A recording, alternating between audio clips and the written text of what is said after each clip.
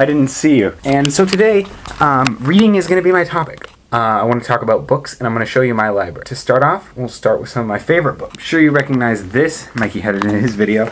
This is my John Green box set and my favorite book of all time is The Fault in Our Stars. This wonderful blue one right here. All of them are great, but that one's my favorite. The Hitchhiker's Guide to the Galaxy, which I'll pull out for you. Um, this one is the more than complete Hitchhiker's Guide. This book came out in the early 90s, before the mid 90s when the fourth book came out, so it's not really as complete as you'd think. I also have some paperbacks of that series, and I have it on my Kindle because I really like it.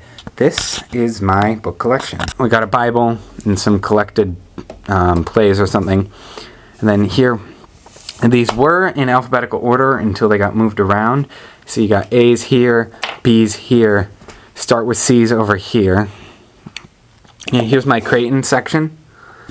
Um, the Andromeda Strain, Two Pirate Latitudes. I don't have all of them, but I have most of his books. Over here, I have some more, some Faulkner, Gaiman. Down here, I'm getting into the G's. This is my White Stripes biography. Abraham Lincoln, Vampire Hunter.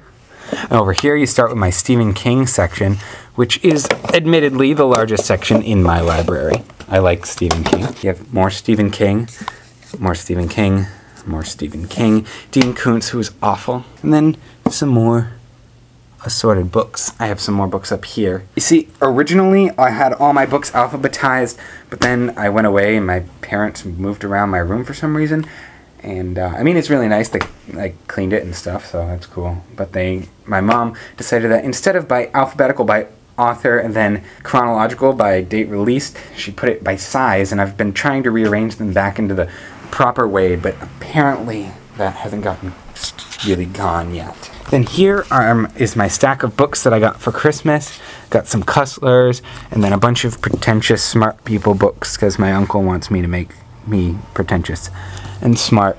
Uh, right now I'm going down these stairs because I need to show you the rest of my book collection, which incidentally is not in my room. Someday I hope to have a room like Alaska Young filled with books. Now these books are the books that I've already read. Don't feel like having my bookshelf. As you can, they, as you may be able to see, I got all my Harry Potters here. Um, Twilight's you. Anyway, I have all my books here. Not only are they double stacked, I have the whole Warrior series behind there. Not only are these books double stacked, there's a stack, and then there's another stack of books behind them. But there's books on top of the books, more comic books and stuff. Oh, and there's more books over here.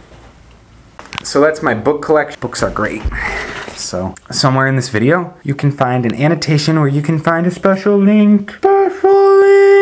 A special link. A special link, and that special link will bring you to a special video. Special video. And the special video will be of me, and I will not tell you what I'm doing, but I will give you a clue. Early on this video, I talked about a lot of books, and in those books, there was a book that I had numerous copies of. Second paperback book. There you will find the annotation that will bring you to the special video hidden in this video. My retainer and mouth guard, a little flashlight thingy, my Kindle, a broken spoon from work, my buff from skiing, CDs I got for Christmas, some rechargeable batteries, ribbon, candy wrappers, cleat tips, CD player, pens, pens, notebook. My favorite YouTuber who's not John Hank, Sexy Nerd Girl, who I will put a link to in the description. And I have a question too. What was the last book you read? What is your favorite book? Holy crap, wenches, I'm winning.